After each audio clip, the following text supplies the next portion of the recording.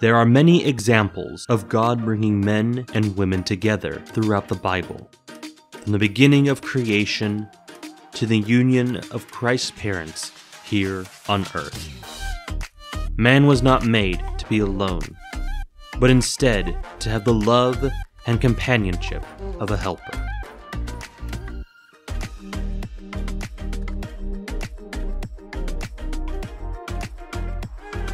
Singleness was not the norm in Scripture, but a gift only given to some.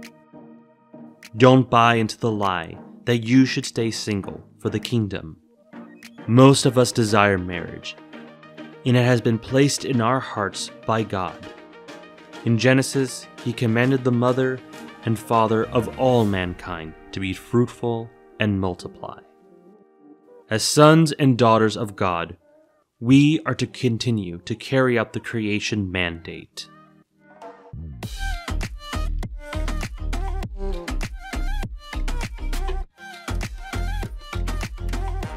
Let's unite together and stand up against the culture.